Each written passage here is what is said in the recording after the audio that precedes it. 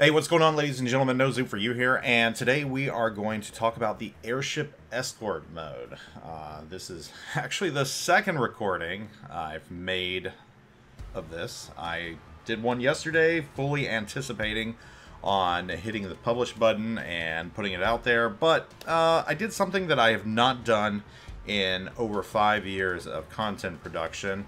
I did my recording in Audacity, which is the program I use, and at the very end of it, I cut the program, or excuse me, I cut the audio, my audio, speaking for 10 whole minutes, and I deleted it. And I could not get it back. So I pasted over it with like a two second blip or something, I don't know.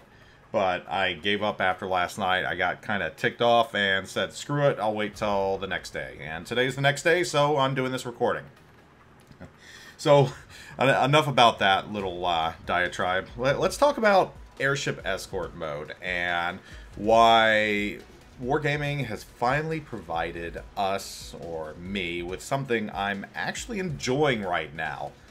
Now, this isn't the first time we've seen this game mode. We had it about a year ago. Um, actually, I think it was right around this exact same time frame.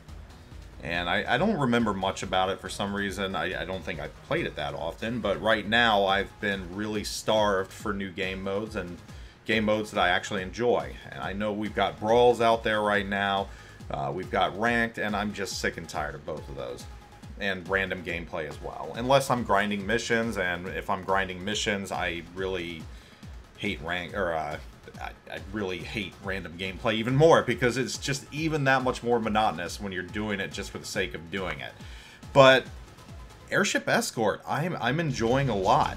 And if you haven't played this game mode yet and you didn't play it a year ago, it's a very simple premise. Each team has an airship, or a zeppelin, or a blimp, or whatever the hell you want to call it, and they follow a predetermined mirrored path throughout the map try to get from point A to point B, which happens to be like a docking station. There is a circle around these blimps, and you want to get in that circle. By getting in that circle, you move the blimp forward. If you're out of the circle, the blimp doesn't move. So the goal is ultimately to beat the other team and to get your blimp to the docking station first, or eliminate the enemy team. And most of the matches I've seen, uh, eliminating the enemy team seems to be what happens most. In, in fact, I haven't seen an airship dock yet in this iteration of the game. And that's fine by me. I mean, I'm not upset about that whatsoever. Because I like this game mode. And the reason why I like this game mode so much is it forces players to fight. It forces players to get into the mix. And even if players are standoffish and don't want to, uh, you generally spawn so close to the enemy or the path of the airship that inevitably you're going to get spotted and you're going to get either focused or you're going to be forced to fight. So right now, this game mode, I, I think is a lot of fun for that aspect. It, it's forcing teamwork, which is something this game sometimes really, really misses out on. And it, it's, in general, just fun, too, because of the craziness. I, I mean, you were thrown into a Thunderdome, and just all sorts of, you know, shells flying all over the place. It's fun. It's really fun. But this this begs the bigger question as to why wargaming and warships has been so slow to add these new types of game modes. I mean, uh, the the obvious reason is that these don't bring in money. And, and again, this is a profit-driven game.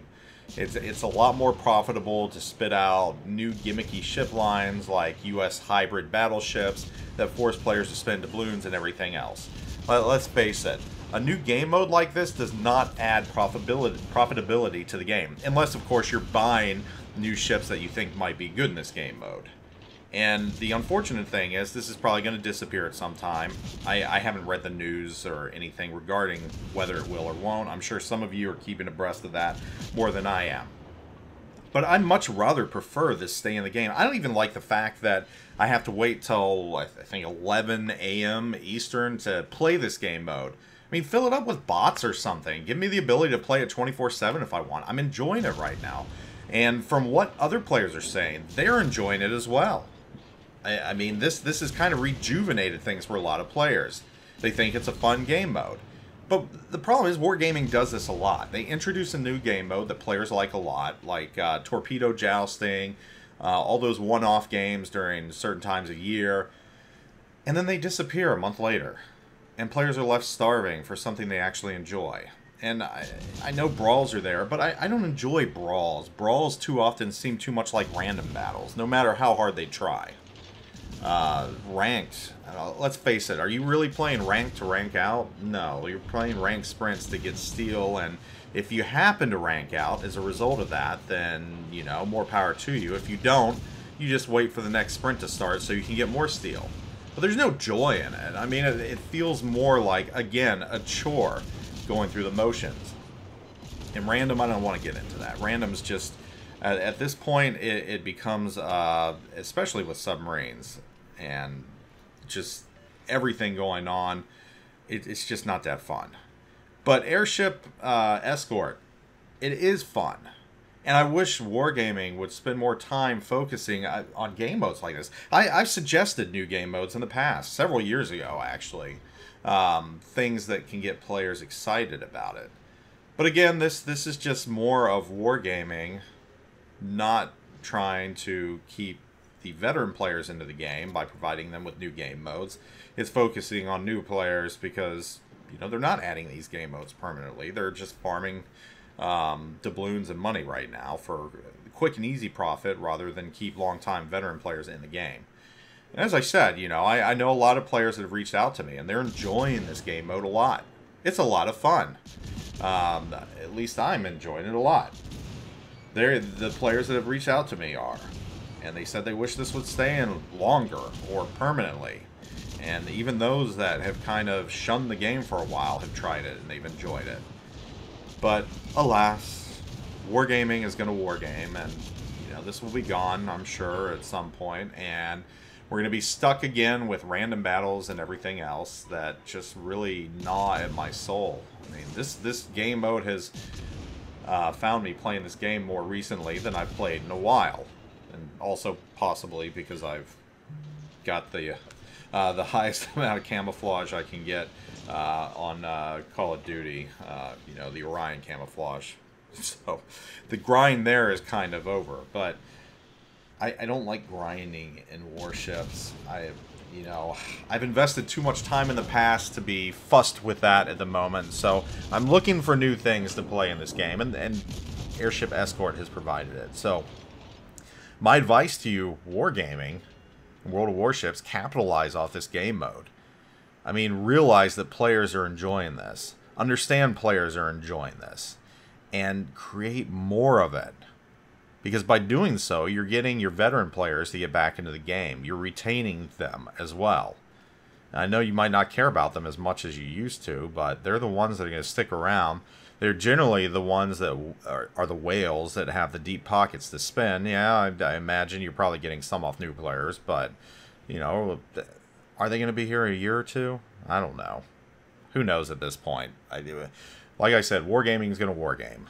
Uh, anyhow, my recommendation for this game mode, I you know try different ships out. I I'm enjoying Minotaur a lot. I've seen a lot of people have good success with destroyers just because you can fling torps up the middle and bound to hit something every now and then. Um, I, have I've even had fairly well, uh, fairly good luck with my Sherman. Enjoy that a lot. I mean, there there are a lot of ways to play this game mode and a lot of ways to have fun in this game mode. Uh, you don't limit to your don't limit yourself to only one ship style. I mean, I've, I've even seen submarines get in the mix, though, with limited luck. Uh, fortunately, because again, I think you all know my stance on submarines, but in all, I, I'm happy to see this game mode.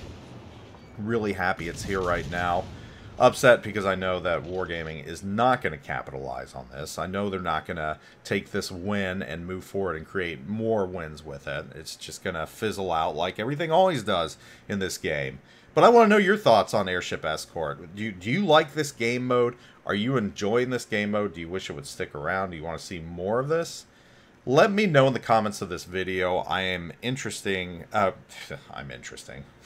Maybe I'm not. Uh, I'm interested to see your takes on this. I want to know what you think about this game mode and uh, what you think Wargaming should implement into the game to keep things going. Uh, anyhow, take it easy. Hope you all are doing great. Zoup out.